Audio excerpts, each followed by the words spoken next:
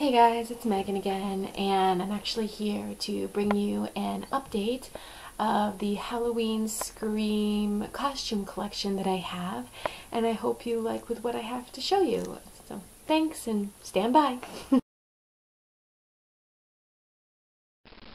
okay guys, this is what I have. This is the Guess Thermal that Scout Taylor Compton wore at the beginning of H2 Halloween. It came out in 2009. It is the exact same shirt she wore, except she wore a size small. This is a size medium, which I found, again, off eBay. I think it was like $7, $12. So if you want to get these, you have to check every single day that you are on the computer. So that's hers that I have, and I have worn it a few times, but unfortunately I am a size not a size medium. So I'm trying to lose some weight before I can wear it again. And this, um, she wore a green spaghetti strap, and that's what I just bought at like a store at the mall. you can see, it's underneath. And of course, I have mine, which is right next door to it on another mannequin. That's the one I wear at the haunted house. And here's a little thing for you. I actually have two of them now. They're both a size medium. That one's mine, and that one I actually hope to give as a gift to Scout if I ever meet her. Which, please don't. If you're at a convention and you see her, please don't tell her that this is a gift to her. I really want it to be a surprise because she mentioned at another convention that she didn't get to keep any of the wardrobe from the first film. So I hope to make that dream come true for her one day. So just shh, shh, shh. Secret, secret, secret. Thank you.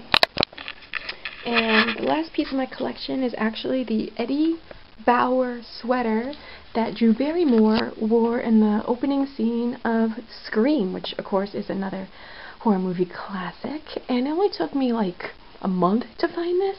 Again, off eBay. Um, I did extensive research of the type of shirt she wore, and I searched all the websites, all the Scream forums to find it. And um, I have worn it. It is a size medium, and it's actually too big for me, which is awesome. And it's really comfortable, and as you can see, it's knit. Um, and I think it only cost me like $25 off of eBay.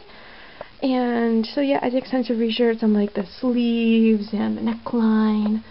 And I'm pretty sure this is the same one, so I'm going to do more research, because I think hers had like a crisscross pattern right here, and as you can see, this one doesn't, but it's by the same brand, it's the same color, and thankfully I haven't had any ghost face try to chase me.